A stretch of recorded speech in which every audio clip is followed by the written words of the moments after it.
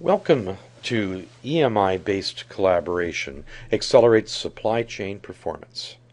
I'm Jeff Cawley of Northwest Analytics. Our guest for this conversation is Mark Gavoor, the Managing Director of CR Supply Chain Consulting. Mark is an experienced quality and supply chain management professional, and he was previously the Vice President of Supply Chain for Rubbermaid.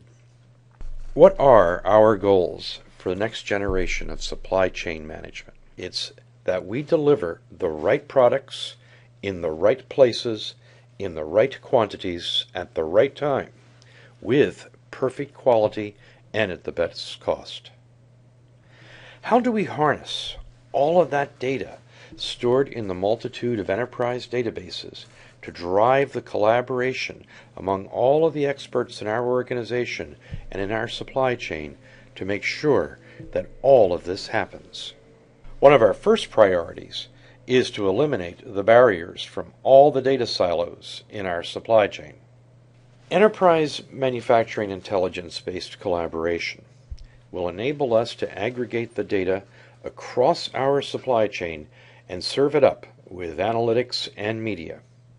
As Mark says, this is a major gap in most companies.